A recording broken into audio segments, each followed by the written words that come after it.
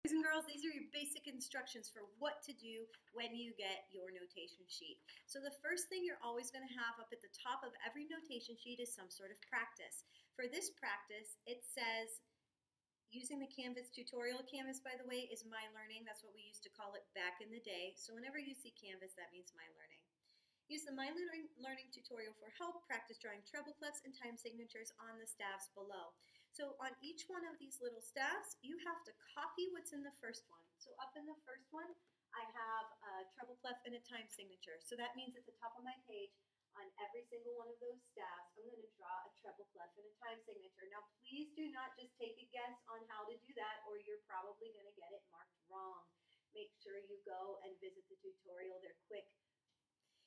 Then the second half of your paper says, Using the Canvas My Learning tutorial for help, copy the two measures your teacher created, then compose two of your own. Then under that, you have these beautiful little measures that your teacher created for you. Your job is to go down to this long staff underneath here, and you're going to start off by copying exactly what the teacher has. So we have our treble clef, we have our 4-4, we have a C half note, have now I'm just doing this really quickly. I hope you take your time with it because otherwise it'll get marked wrong if it's not done properly, but I've been drawing notes for many years.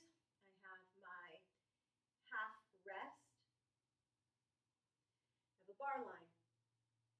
I have an E.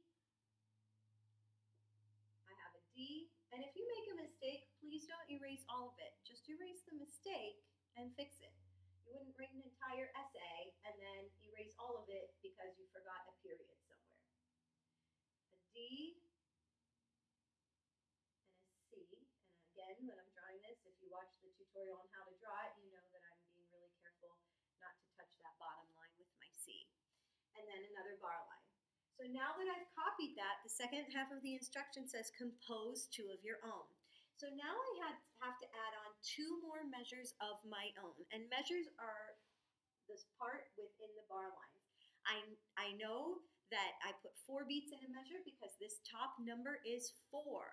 So that means that I have to make sure that I meet all the criteria at the bottom of the page. So the first thing says at least one quarter note. Guess what?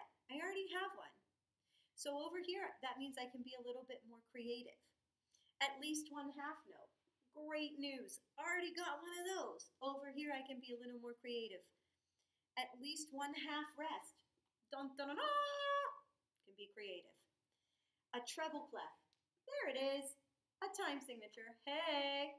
Bar lines in the correct places. Now, bar lines, you have one, you have two. But you have to put a bar line every four beats. So if you have say I put in a whole rest. You don't have to do a whole rest, of course. This is your creation, your composition. In fact, please don't copy me. But if I have a whole rest, that's four beats. One, two, three, four. I need a bar line. Bam. And then a double bar line in the correct place. So I hope you make sure to watch the tutorial. I still need another measure here. I'm not going to write anything else because I don't want you to just copy me. You um, need to begin and end on C. You already began on C. Your last note needs to end on C. Use only the notes C, D, and E. Even if you know the other for the yellow belt, you need to stick to C, D, and E. And your notes and stems are written correctly. When people get marked wrong, it's always there.